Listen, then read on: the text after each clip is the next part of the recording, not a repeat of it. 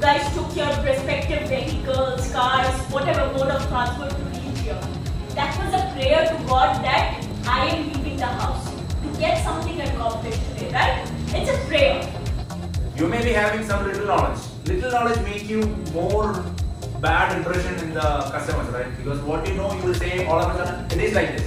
starting from the formation of the company, PRO services, government approvals, many, many things are there. You will, yeah, you will learn more. So uh, all the best.